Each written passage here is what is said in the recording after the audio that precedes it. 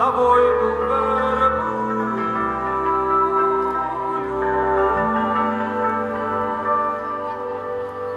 Žolíška švarného, zabít ho na vojnu, samé. Vážení přátelé, přivítala na sedmém ročníku slavnostních dožínek v Míkovicích. Dobrý den. Podíňo hospodářu milí, dneska jsme z něj dokončili. Obilí je skluzené a každému se dostane. Tento věnec je z čisté lásky, tož nám na něho dajte klobásky. Nedáte-li klobásky, tož zabijte prasa. Však si ho zaslouží celá dožínková chasa. Hospodářu milí, dneska jsme nažali všeckého, co jsme měli. Nažali jsme vám 100 mandelů ječmeňa, to abyste měli do samého hrebeňa. A 100 mandelů bobu, to abyste měli pro chudobu. Když jsme všeckého dožali, věnec jsme pro vás uvili a Boha jsme prosili, aby vám dal tolik roků zdraví, kolik je v tom věnečku trávy, tolik hodných a zdravých vnoučátek, kolik je v tom věnci poupátek. K tomu všeckému vám přejeme v poctivosti, abyste měli ve sklepě, ve dvoře a i nahůře všeckého dohojnosti. A nakonec jsme vám skludili aj kukuřicu, tož pozvěte nás k sobě dom na vašu dobrou slivovicu. Milá Chaso, děkujem za všechna ta pěkná přání a za to vínšování. Žňa jsou skončené šťastně. Jsem rád, že jsme všecko v klidu skludili a že žádné úhony na úrodě nedošlo. Vím, že jste pilně pracovali a proto dneska, když jste poslední snopy z pola svézli, zanechte veškeré práce a oddávejte se veselosti, tanci a radosti. Muziko,